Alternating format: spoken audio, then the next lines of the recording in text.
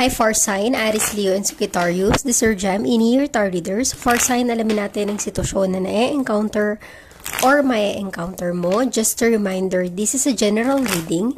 So this may or may not resonate with you, so don't take it personally. This is just a guide. This is also a timeless reading. So kung mapanood mo ito sa ibang panahon at ibang pagkakataon, possible na nakatadhanang mapanood mo ang reading na ito maaaring yung mga advice and messages na mapupull out natin ay makatulong sa iyong sitwasyon. Also, please like, share, comment, and subscribe for more videos. For sign Iris Leo and Sagittarius, salamat sa pagsuporta at pagsubaybay sa ating channel. Na-appreciate ko lahat ng comments and messages nyo sa ating videos. For sign Aries, Leo, and Sagittarius, give me your energy. For sign. You have King of Cups, a water sign. Knight of Cups, a water sign. And Four of Wands, a fire sign. I'm sensing here a stability, security. Maaaring you will have a long-term commitment with someone that you really love para sa iba, maybe this is some kind of a proposal, a marriage, a connection, long-term commitment. This is a good news. Maaring ito na yung matagal mo nang inaantay na marinig, na matanggap sa person mo. Diba? You are really in love with this person, and maybe this person also loves you so much na gusto niya nang mag-settle down with you, bumuo ng sariling pamilya, long-term commitment, four of wands, a connection, long-term connection, a stability and security. Let us clarify the Knight of Cups in your energy. For sign Aries, Leo, and Sagittarius, give me the Knight of Cups in your energy.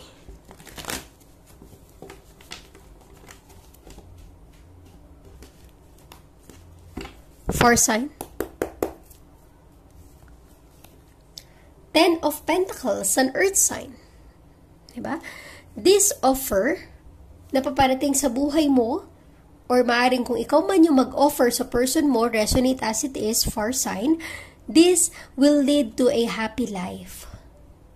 Maaring ito na lang yung matagal nang inaantay, inaasam.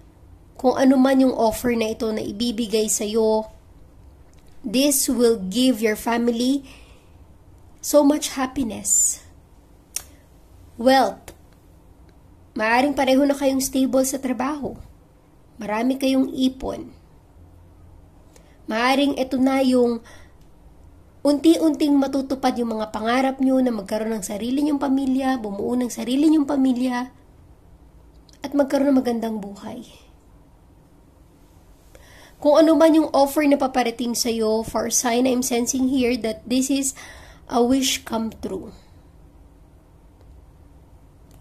Ito yung pinapangarap mo sa buhay. Yung meron kang makasama, makapartner, kasamang tumanda, di ba? Let us clarify the King of Cups in your energy.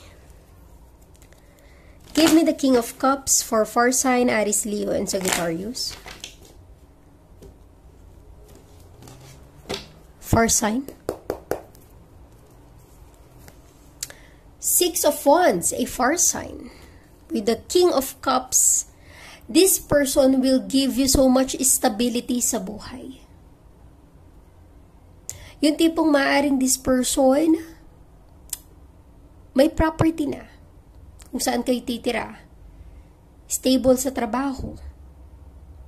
Maganda yung pasok ng income sa kanya. So much blessings and opportunity yung dumadating sa kanya. Maaaring this person kaka-promote lang din. Resonate as it is. Pero tingin ko, mataas ang katungkulan niya sa trabaho. Kasi maraming yung atensyon ng tao sa paligid niya nakatuon sa person na ito. 'Di ba? Very confident sa sarili. Yung tipong kaya niyang ibigay yung stability sa iyo what for sign Aries, Leo, and Sagittarius. Maring ang iba sa inyo ay connected sa water sign. Cancer, Scorpio, and Pisces, or an earth sign, Taurus, Virgo, and Capricorn. Maaring kakapromote niya lang or kakataas lang ng rango niya. And this person is really loyal sa'yo. King of Cups. Hindi siya tumitingin sa iba. I'm sensing here na kahit maraming gustong kumuha ng atensyon niya, sa'yo lang nakatuon yung attention niya. Far sign. Wala nang iba. Let us clarify. The Four of Wands in your energy. For sign Aries, Leo, and Sagittarius, give me the Four of Wands in your energy.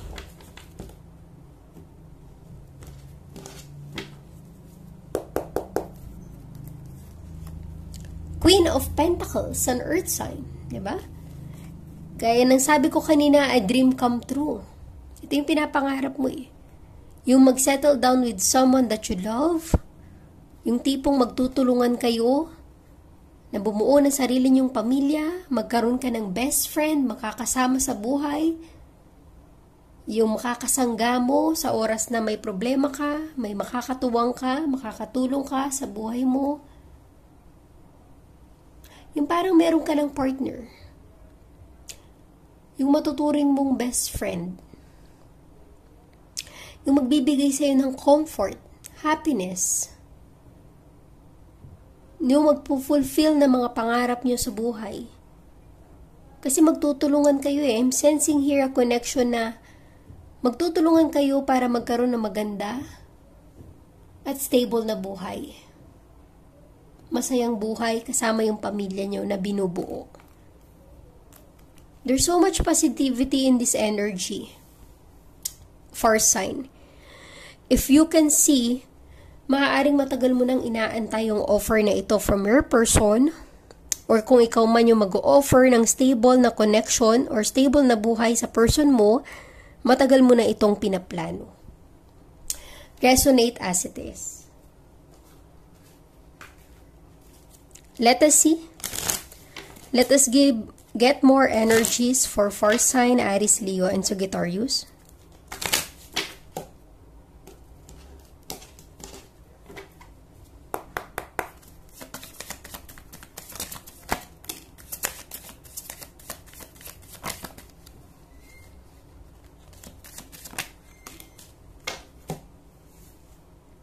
Okay. For sign you have here, high honor. Gaya ng sabi ko, maaaring yung person mo, yung involved sa'yo, mataas ang katungkulan. Mataas yung rango, posisyon sa trabaho. Maaaring nagkakaroon ka ng pag-aalinlangan kasi parang lahat ng atensyon ng taong nasa paligid niya nasa kanya eh. Baka nakakaramdam ka na baka may iba siya or baka na-fall fall in love siya sa iba. Diba? You have despair in your mind. Let it go. Be the mature woman. Act like one. Know your worth. Know what you deserve. Kung deserve mo to have this person, walang makakahadlang nun. Diba? Tingin ko kaya niyang ibigay kung ano yung deserve mo. Yung person na involved sa'yo, kung ano man yung ipinangako niya sa'yo, kaya niya yung tuparin. Kaya wag kang mag-doubt or matakot, mag-fear, di ba? Alisin mo yung fear na nararamdaman mo. Kasi nafe-feel ko yung sincerity ng person na ito. Kung meron man siyang gustong i-offer sa'yo, gusto niyang i-commit yung buhay niya sa'yo. That is what I'm sensing. Let us get more clarification for far sign, Aries, Leo, and Sagittarius.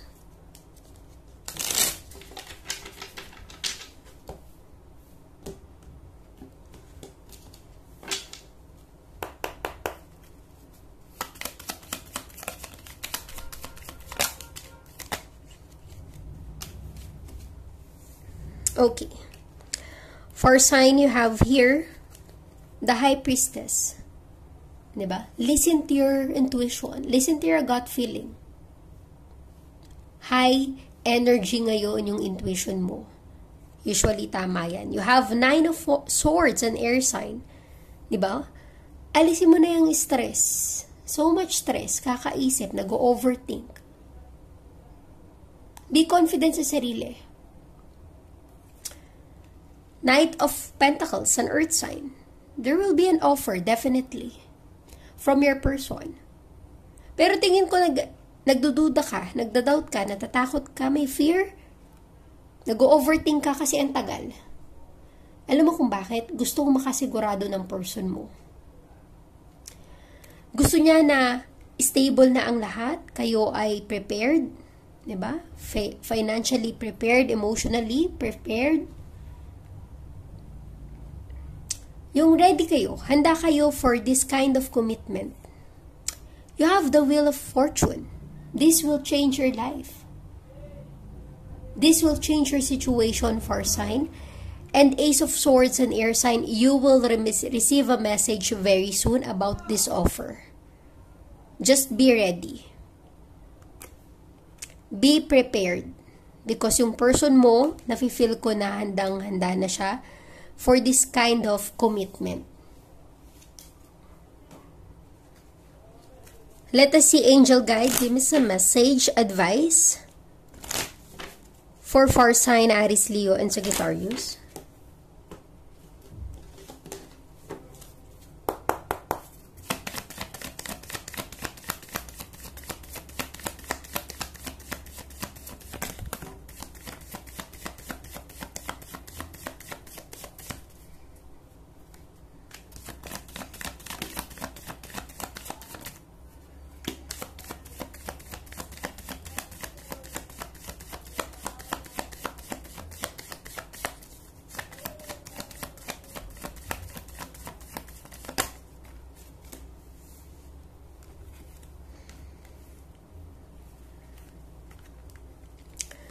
For sign you have here, unlikely, if you are not sure, diba? meditate and contemplate. Listen to your intuition.